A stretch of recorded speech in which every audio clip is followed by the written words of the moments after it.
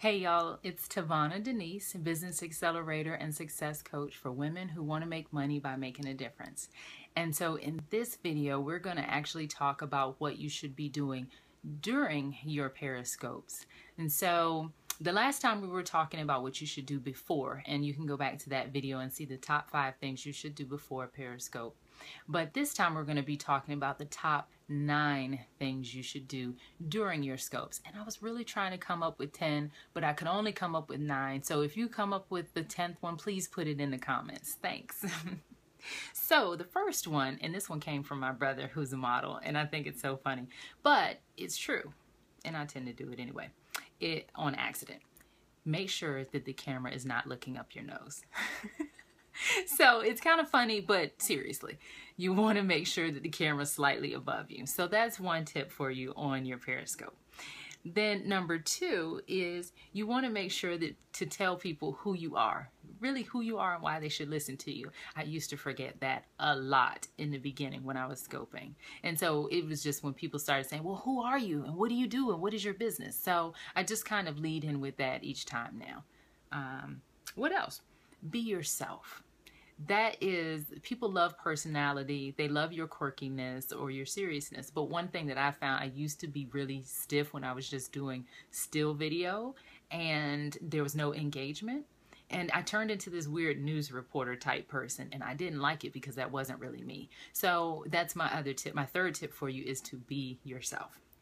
Number four, as you see I'm doing now, is to use notes if you have to. Some of the comments that come back and forth on Periscope can be kind of distracting and take you off track. So use notes if you have to. That goes with tip number five, which is to make sure that you engage with people.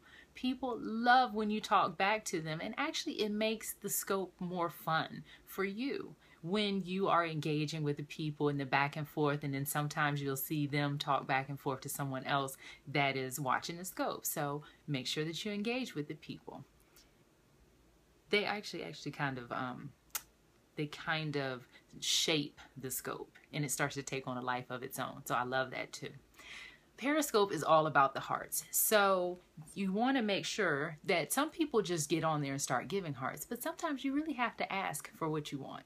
So make sure that if you want some hearts for what you're talking about, ask for them. Simple as that. I have no idea what number we're on now. I think it's number six. The other thing you want to do is ask people to share. Ask people to share the, the scope with others while they're on it because that will increase your reach and increase your following. So just make sure that you remember to ask people to share. I'm guilty. I forget that. But hey, it's a brand new platform, so we're all learning here. Number eight. Number eight. You want to make sure to tell them how they can connect with you towards the end or even in the middle. That actually is a, a good idea too because sometimes people don't know how long you're going to go for and they can't stay on for a very long time. So make sure you tell them how they can connect with you. And then my number nine is if you have an opt-in or a giveaway or a worksheet or something that's related to the scope that you're that you're talking about, make sure that you share it because that increase that increases the people on your list and that adds additional value and has them stay connected with you outside of Periscope. So those are my top 9 tips for things that you should be doing during your periscopes. And I'm still looking for number 10. So if one of you all have what they should be doing during the scope, please put it in the comments below. And I will talk to you soon about just a very few tips that you things that you should do after you scope.